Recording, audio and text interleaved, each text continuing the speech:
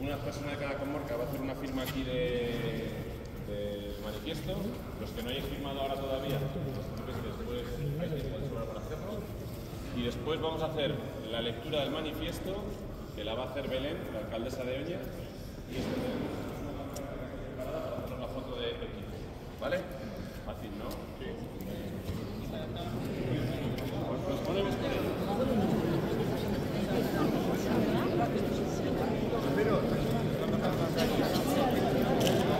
Venid, no tengáis miedo. Que no vamos a morder demasiado. Ahí, venga. Puedes firmar.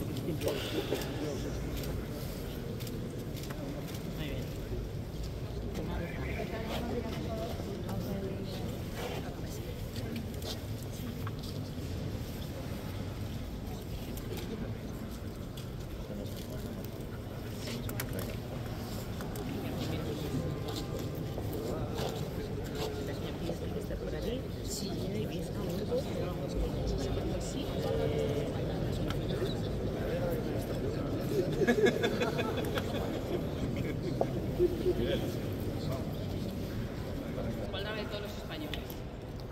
Los alcaldes y concejales del Partido Popular queremos reiterar nuestro compromiso con la igualdad de todos los españoles, que se está viendo seriamente comprometida por las decisiones injustas y arbitrarias que el PSOE está adoptando para lograr los votos independentistas que garanticen su continuidad en el Gobierno de España. Tanto la ley de amnistía que se está tramitando en las Cortes como el resto de privilegios que el independentismo está imponiendo como condición para sacar adelante las votaciones en el Congreso de los Diputados ponen de relieve una, grave alteración de las reglas del juego demo- democrático. El actual Ejecutivo Central ya no sitúa el interés general por encima de todo, sino que antepone las exigencias con las que las formaciones separatistas le vayan extorsionando en cada momento. Es por ello que queremos y debemos manifestar nuestra profunda preocupación por la degradación institucional a la que estamos asistiendo, puesto que supone un flagrante deterioro de nuestro Estado de Derecho. Ataca los principios constitucionales más básicos y compromete la viabilidad de todos los niveles de administración del Estado, incluido el municipal que nosotros representamos aquí. Para continuar en el poder, el PSOE y todos aquellos partidos cuyo objetivo es liquidar nuestra nación han colocado a España en uno de los momentos más graves de nuestra historia reciente. Se desprotegen los derechos y las libertades fundamentales. Se cercena el principio de separación de poderes y se acaba con la igualdad de los españoles y la solida- solidaridad entre territorios a cambio de un puñado de votos. Nuestro principal deber como representantes de la ciudadanía en los ayuntamientos es defenderles frente a todo esto, ya que conceder prerrogativas a unos pocos ciudadanos implica que aquellos a los que nosotros nos debemos sean discriminados.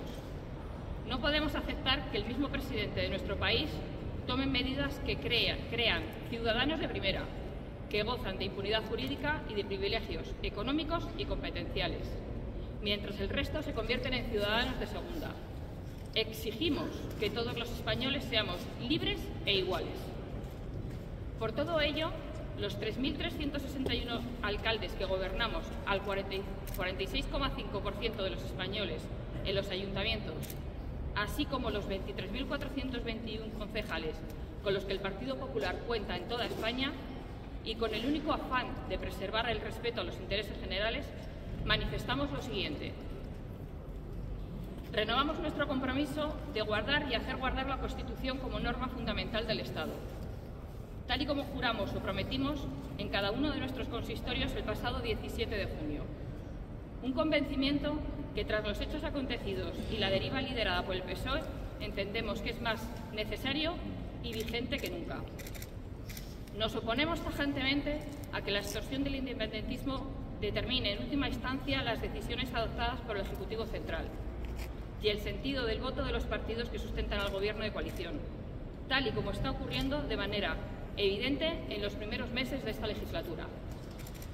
Exigimos al Gobierno y al PSOE que acaben con el secretismo con el que están acometiendo las negociaciones con sus socios sobre asuntos esenciales para la economía y el bienestar de los ciudadanos. El conjunto de las administraciones y de las formaciones políticas tenemos derecho a participar del debate y de la toma de decisiones en los temas que nos afectan a todos. Los servicios públicos y la igualdad de los españoles ante la ley no puede ser moneda de cambio para blindar la presidencia de Pedro Sánchez. Expresamos nuestro absoluto rechazo a la ley de la amnistía, porque es injusta e inmoral. Atenta contra la igualdad de todos los españoles que consagra nuestra Constitución. Rompe el principio de separación de poderes al anular sentencias e investigaciones judiciales. Se basa en un engaño masivo a los españoles, porque el PSOE negó la posibilidad de esta medida de forma constante y unánime antes de las elecciones generales. Y ni siquiera sirve para que el independentismo se comprometa con la no repetición del golpe ocurrido el 27, en 2017 en Cataluña. Vemos con desolación que los acuerdos del PSOE y sus socios están sirviendo para despenalizar delitos de malversación contra la integridad territorial e incluso de terrorismo. Esta conducta es opuesta a los valores innegociables en cualquier Estado democrático moderno, así, perdón, así como a los que conforman la, la Unión Europea.